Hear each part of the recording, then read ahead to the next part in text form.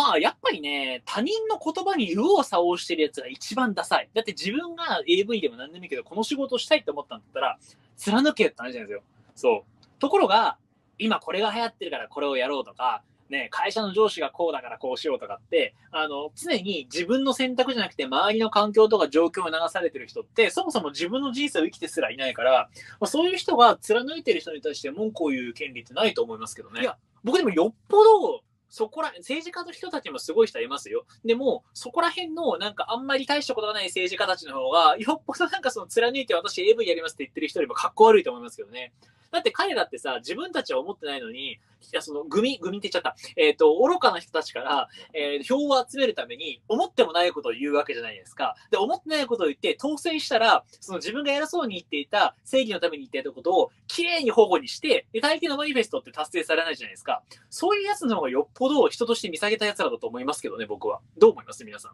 だって人のことを騙して票を集めて、で、票を集めたらもう用なしだからって言って、なかったことにするんですよ。かっこ悪いなと思いますけどね。